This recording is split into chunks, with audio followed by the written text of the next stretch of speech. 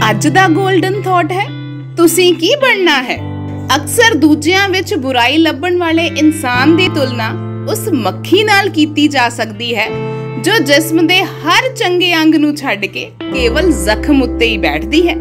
ਸੋ ਇਹ ਤੁਹਾਡੇ ਤੇ ਨਿਰਭਰ ਕਰਦਾ ਹੈ ਕਿ ਹੁਣ ਤੁਸੀਂ ਕੀ ਬਣਨਾ ਹੈ, ਮੱਖੀ ਜਾਂ ਮਰਹਮ? ਉਮੀਦ ਹੈ, ਤੁਹਾਨੂੰ ਸਾਡਾ ਅੱਜ ਦਾ ਇਹ ਥਾਟ ਜ਼ਰੂਰ ਪਸੰਦ ਆਇਆ ਹੋਵੇਗਾ। ਬਣੇ ਰਹੋ ਜਸਪ੍ਰੀਤ ਦੇ ਨਾਲ ਸੇਂਟ ਸੋਲਜਰ ਟਾਈਮਜ਼ ਫੇਸਬੁੱਕ ਅਤੇ YouTube ਉੱਤੇ।